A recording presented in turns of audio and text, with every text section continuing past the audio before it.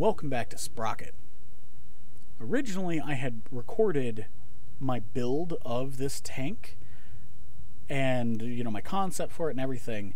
And then after I was done recording, I kept modifying it and modifying it, touching it up, doing a little this, a little that, and then a little bit more for safe measure. And basically, it barely looks like what it looked like at the end of that recording. So I'm just going to go over the concept and then uh, go over my build verbally with what I had done, and then how effective this thing is and how I expect it to be used. So initially, my idea was I wanted to make something like the Land Raider in Warhammer 40k. If you don't know what that is, it is a very big, powerful tank, like it's a frontline tank, but it also carries infantry. Now, in real world terms, there's not many vehicles out there like that. The only thing I can think of is the Merkava. Now, the Merkava wasn't designed to carry infantry, but after the the build, after they designed the thing, they realized, hey, you can remove its rear hull racks, uh, its ammo racks, and put infantry in there. And so they used it like that for commandos and uh, you know mechanized infantry and even arm, armored ambulances, which is a really great way to use them. So that being said, I thought, all right, how would you use a, a heavy tank that, you know, or even just a tank in general, designed to carry its own mechanized infantry? What role would that take in World War II? Then it made me think of assault tanks, like the assault Shermans or the jumbo Shermans, as they're more commonly known, or even the T 14 uh, tank that was designed to be an assault tank. Uh, the British Churchill is another good example of like an infantry support assault tank, heavily armored, meant to take on mostly infantry, but even other tanks at closer ranges. So, with that, I wanted to make a vehicle that was heavily armored um, and armed, and then could also carry its own troops. So, mobility is an afterthought. I, I want armor, I want weapons, and I want to be able to carry troops. And this is what I came up with. Now, initially, I had the um, S or HS no HVSS suspension. I couldn't think of the acronym for a minute. Yes, the HVSS suspension, which is what late model Shermans carried, like the Easy 8 Shermans.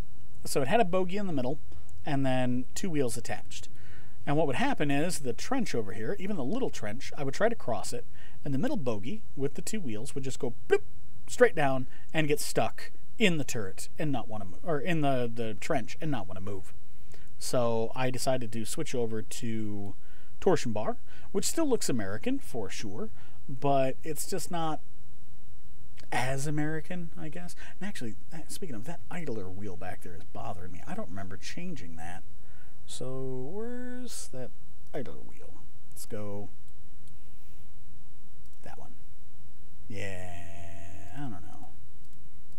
Ooh, that's not too bad. Yeah, let's go with that one. That looks better. Sorry, that was bugging me. So yeah, torsion bar system. I, I like it. It still looks right. Uh, like if you look at it from the side, the hull reminds me of the M10 tank destroyer, uh, just with torsion bar.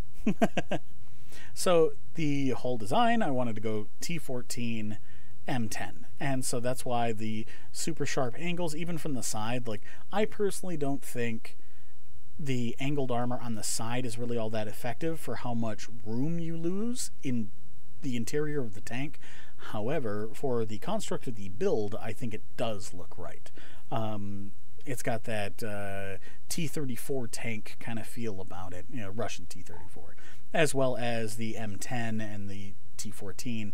It was very much common for the time, and so yeah, I'm, I'm I like that one. I think that looks right and I ended up mounting the engine up front, like on a Merkava, and it's on the right side of the tank. So if you're in the tank, it's right side.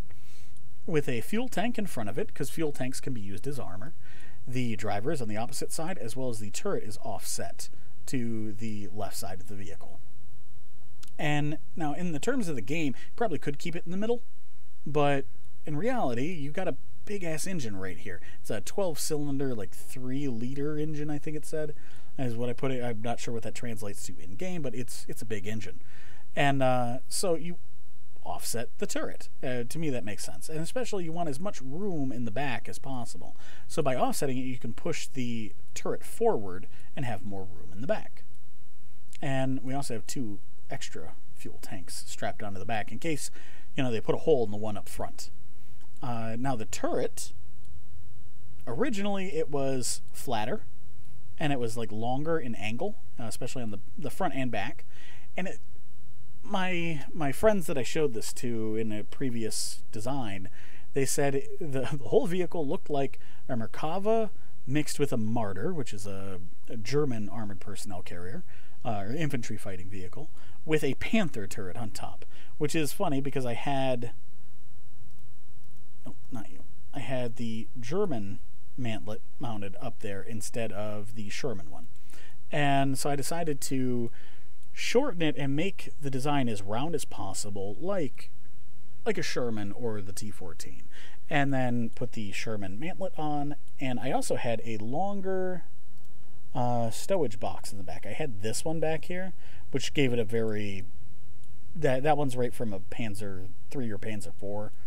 So so is this one, but it's shorter. I think this one's Panzer three and this one's Panzer four. This one here, and this just didn't look right on here. I didn't. I don't know. So I like that one. It gives a nice little overhang because the Sherman had a little bit of an overhang. And then I put these little baskets on the side for extra equipment, more you know, detail for the vehicle. And overall, the turret turned out pretty well. Now, originally I had skirts on the side, and I removed the skirts to adjust the suspension when I changed it from the uh, the HVSS suspension.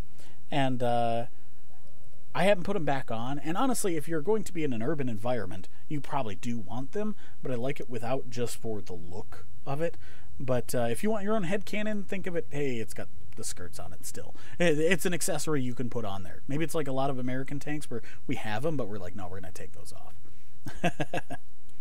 uh, I also had extra track bits on the side of this, and I removed those on the side of the turret, and I removed those too because it made it look very German, and it doesn't really add any benefit other than detail in the in the game.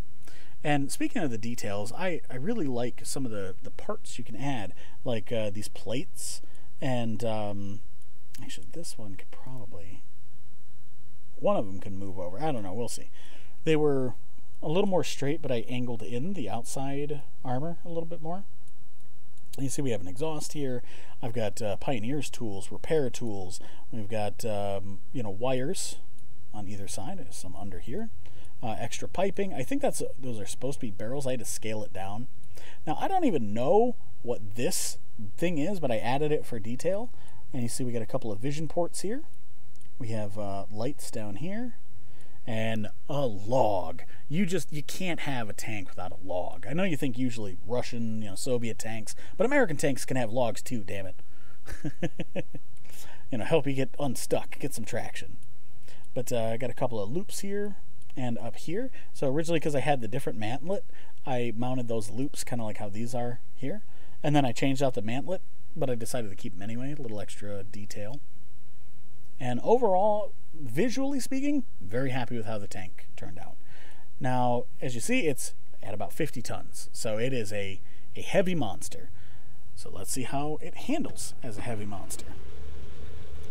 Its overall top speed uh, is about 25 kilometers an hour, which is about 15 miles an hour.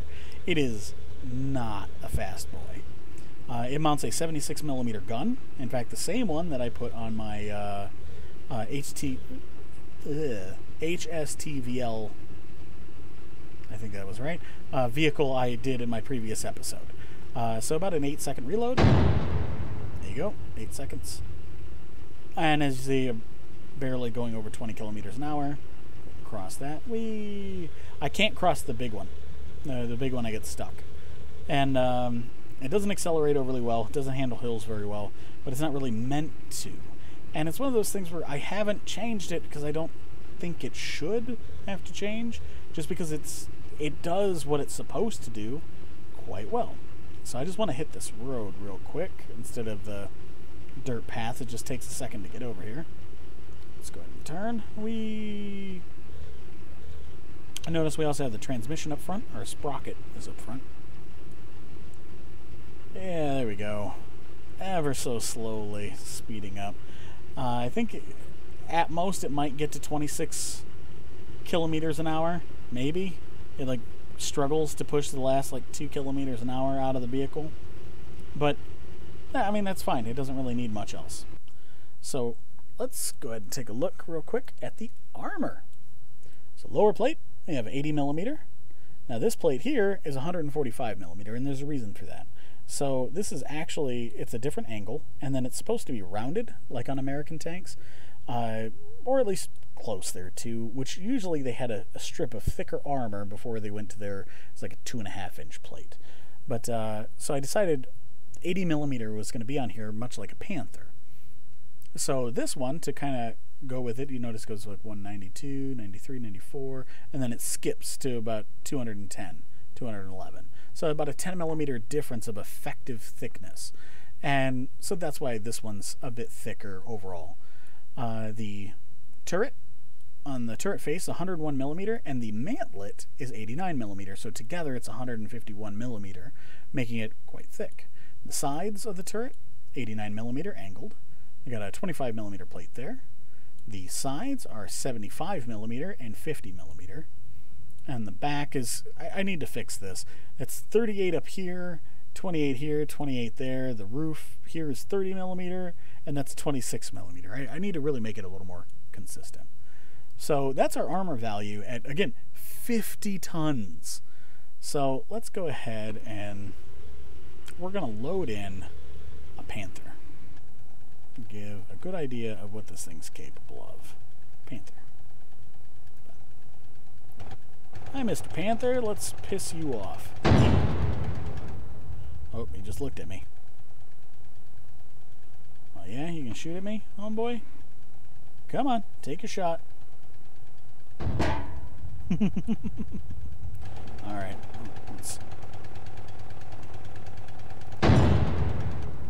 Where are you going? Get back here.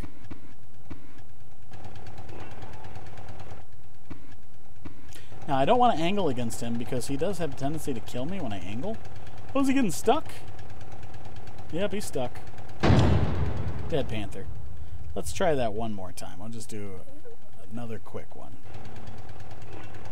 Hey there, buddy. Bing. You take chances? Yeah, that's what I thought. So whenever I angle, I think he hits the lower plate when I'm angled, and uh, it punches through. Notice he's not doing a whole lot here. Now if he hits my turret ring or my, my lower front plate, I'm done for. Dead Panther. so let's go ahead and give this thing a size comparison so you can feel the difference between a Panther and my assault tank.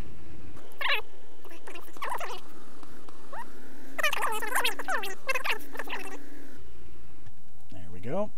So it's wider, but it's short. Uh, it's actually the same height,